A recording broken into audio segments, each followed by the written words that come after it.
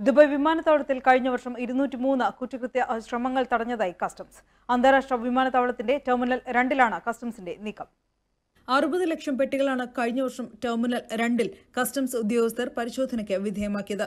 ഇരുന്നൂറ്റി മൂന്ന് കടത്ത് ശ്രമങ്ങൾ ആകെ തടയാൻ കസ്റ്റംസിന് സാധിച്ചു. ഇതിൽ എൺപത്തി എണ്ണം മയക്കുമരുന്ന് കേസുകളാണ്. കസ്റ്റംസ് കേസുകൾ അൻപത്തി എണ്ണവും ക്രിമിനൽ കേസുകൾ അറുപത്തിമൂന്ന് എണ്ണവും പെടും. കുറ്റകൃത്യങ്ങൾ പാടെ തടഞ്ഞ് എല്ലാവർക്കും യാത്ര സുഗമമാക്കാനാണ് പരിശോധനകൾ കർശനമാക്കുന്നതെന്ന് ദുബായ് കസ്റ്റംസ് മേധാവി അഹമ്മദ് മഹബൂബ് മുസബിക് പറഞ്ഞു. യാത്രയ്ക്ക് ഉപയോഗിക്കുന്ന ബാഗേജും മറ്റ് സാധനങ്ങളും പെട്ടെന്ന് തിരിച്ചറിയാൻ ഐ ഡിക്ലയർ എന്ന മൊബൈൽ ആപ്ലിക്കേഷനും കസ്റ്റംസ് അടുത്തിടെ പുറത്തിറക്കിയിരുന്നു. സാധാരണ നാൽപ്പത്തിയഞ്ച് മിനിറ്റ് എടുക്കുന്നത് അഞ്ച് മിനിറ്റ് കൊണ്ട് തന്നെ തിരിച്ചറിയാൻ ഈ സംവിധാനം ഉപകാരപ്പെടും. രണ്ടായിരത്തി പതിനെട്ടിൽ ലോകത്തിലെ തന്നെ ഏറ്റവും തിരക്കുള്ള വിമാനത്താവളമായി തെരഞ്ഞെടുത്തത് ദുബായ് വിമാനത്താവളത്തെയാണ്. തുടർച്ചയായ അഞ്ചാം വർഷമാണ് ദുബായ് വിമാനത്താവളം ഈ ബഹുമതി സ്വന്തമാക്കുന്നത്. കഴിഞ്ഞ വർഷം എൺപത്തി ഒൻപത് ദശാംശം ഒന്ന് നാല് ദശലക്ഷം യാത്രക്കാരാണ് ദുബായ് വഴി യാത്ര ചെയ്തത്.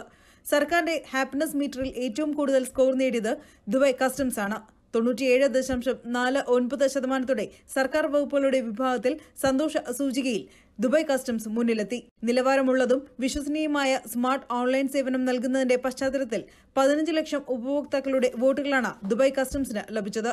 N T V Dubai.